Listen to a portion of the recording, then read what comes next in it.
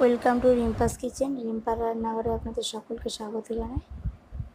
আজ আমি তৈরি করব একেবারেই তেল মশলা ছাড়া একটি রেসিপি লাউ ডাঁটার ঝোল।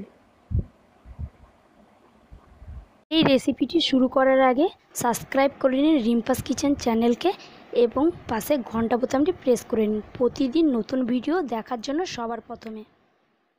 একটা কড়াই বসিয়ে নিয়েছি, এতে সর্ষের তেল দিলাম। পাঁচ ফোড়ন দিলাম। একটা গোটা কাঁচা লঙ্কা দিলাম। দিয়ে এটাকে কিছুক্ষণ ভাজা ভাজা করব। কেটে রাখা সবজিগুলো ওই তেলের মধ্যে দিয়ে দিও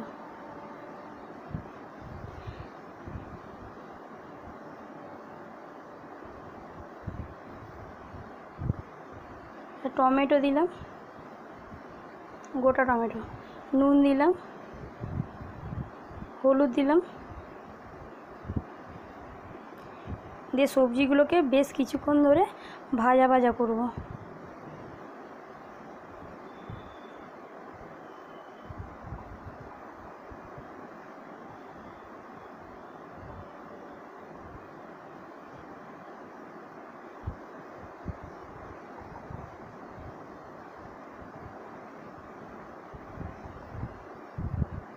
এভাবে ভালো করে নাড়িয়ে চাড়িয়ে বেশ কিছুক্ষণ ধরে ভাজা ভাজা করব।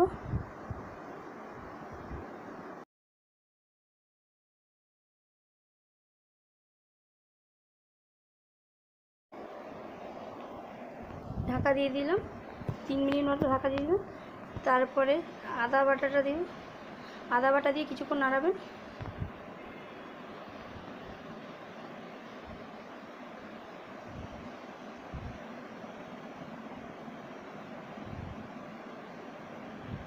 এবার এতে জিরে গুঁড়ো দেব। জিরে গুঁড়োটা দিয়েও আর বেশিক্ষণ কিছুক্ষণ নাড়াবেন।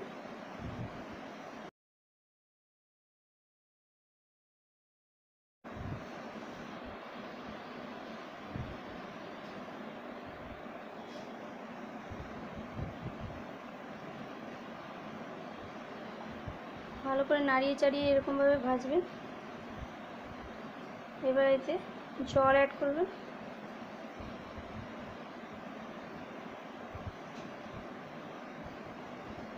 ঝোলটা আমাদের ফুটে এসেছে দেখুন।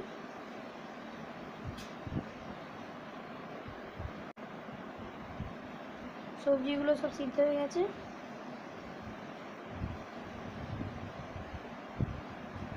লাউ ডাঁটার ঝোল আমাদের রেডি।